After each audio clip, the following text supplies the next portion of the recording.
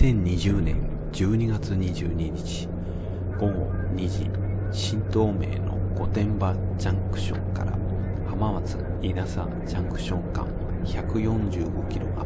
完全6車線化が実現し最高速度も正式に120キロに引き上げられたので島田金谷インターから新富士インターまでの間約66キロを最高速度120キロで走行しました。あまり知られていませんが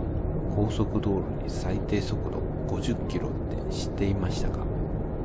なので最低50キロから最高120キロを下に表示しました。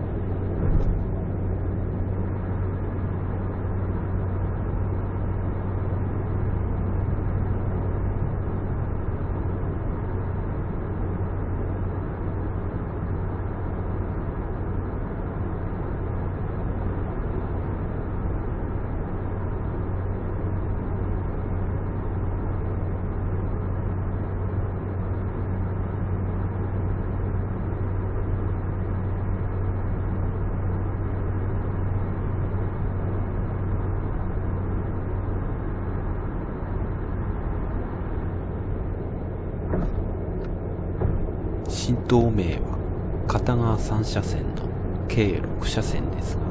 左側から路側帯に第1走行車線第2走行車線そして右が追い越し車線となっております。追い越し車線の長距離走行は通行帯違反普通免許で1点と6000の違反金が取られます。